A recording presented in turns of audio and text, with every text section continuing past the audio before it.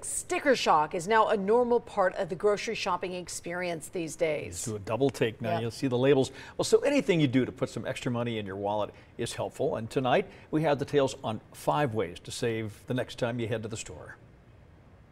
I just take a lot of effort in you know, shopping around. I don't buy things that I used to. Cindy Gentis of Henderson says she's definitely feeling the pinch when grocery shopping. I clip discounts on my apps.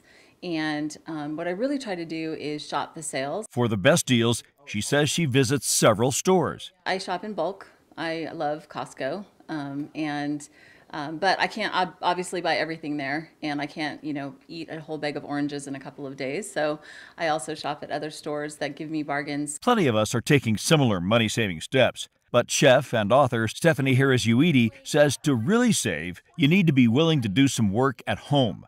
Number one, she says, plan your meals. Part of that process is actually doing a kitchen sweep to see what you've got in your cabinets and your countertops to make sure that you're not double buying. Once you know what you have at home, make a shopping list. So that list is going to help you stay focused and targeted and make sure that you're in and out without distraction or going over budget. Number two, Stephanie says, avoid buying name brands when possible. It's not so secret is that those major store brands, those cereal brands, those soda products, those are often made by the same companies making these off brands or what we call store brands. The difference is just marketing, packaging, and overhead. Number three, she says skip the fresh meat and fresh fish counter. And that's where you're going to pay your premium. I want to direct a lot of people over to the frozen section. Number four, stop buying pre made home staples and cook your own. Staple items are things like brown rice, those are things like black beans. Uh, I prep my own salads. You're going to see that price difference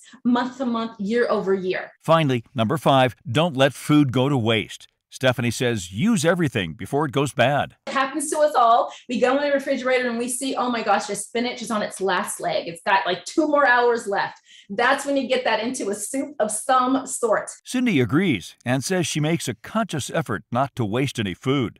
But she has one more tip and suggests trying new meals in the kitchen. I am all about Instagram recipes and TikTok recipes.